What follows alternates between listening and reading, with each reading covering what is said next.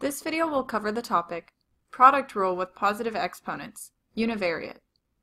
To multiply two expressions that both have variables and exponents, we can multiply the coefficients and then combine any exponential factors that have the same base. That sounds kind of confusing. Can we look at an example? Let's take a look at 4u squared times the quantity negative 3u to the fifth. You may recall that if you have two factors directly next to each other with nothing in between, it implies that they're multiplied. So we can rewrite this as 4 times u squared times the quantity negative 3 times u to the fifth. Even though there are parentheses here, since there are no operations besides multiplication, we can get rid of the parentheses. Also, since all of these factors are multiplied together with no other operations like addition or subtraction in between, they can be rearranged in any order. So let's try putting the numbers next to each other and the variables next to each other.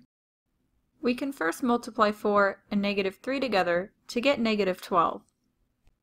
To multiply two factors with the same base but different exponents, like u squared and u to the fifth power, we can keep the same base and add the exponents together, right? Right. We can use the product rule of exponents to add the exponents of u, like this. 2 plus 5 is 7, so this factor becomes u raised to the seventh. We can now rewrite our final answer without the multiplication sign in between, and just the negative 12 and u raised to the seventh next to each other. Why don't we try another example? Negative 2x to the ninth times negative 7x. Well, we can rewrite this as negative 2 times negative 7 times x to the 9 times x. Then, when we multiply negative 2 times negative 7 and use the product rule to multiply x to the ninth and x, we get 14 times x to the 9 plus 1.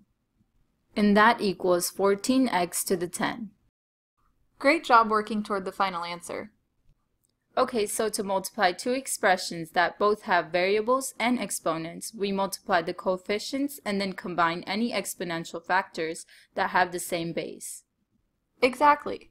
It sounds like you really understand the product rule.